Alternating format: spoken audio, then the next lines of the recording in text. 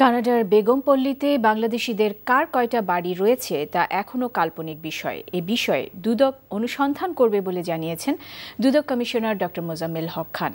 রাজধানীর বিএফডিসি মিলনায়তনে এক বিতর্ক প্রতিযোগিতায় অংশ নিয়ে তিনি এই মন্তব্য করেন। দুদক কমিশনার বলেন, যারা কানাডার বেগমপল্লীর বিষয়ে অভিযোগ করছেন, তাদের কাছেও এ বিষয়ে সুনির্দিষ্ট তথ্য নেই।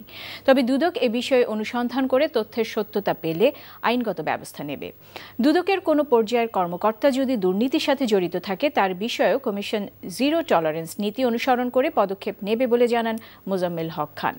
Debate for democracy chairman Hasan Ahmed Chowdhury কিরণের সঞ্চালনায় দুর্নীতি বিষয় বিতর্কে সরকারি দলকে বিজয়ী ঘোষণা করা হয়।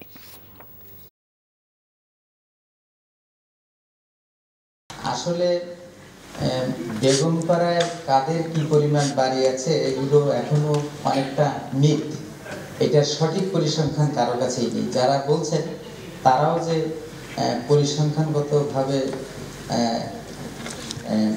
এটা সন্দেহিতভাবে বলছেন, সেটা বলা যাবে না। যখন এই সত্য উদ্ঘাটন হবে অনুসন্ধান হবে, তদন্ত হবে, তখন আমার মনে হয় এই সংখ্যা নিয়ে আমরা কথা বলতে পারব। এখন সেই সময়টি এখন আসে।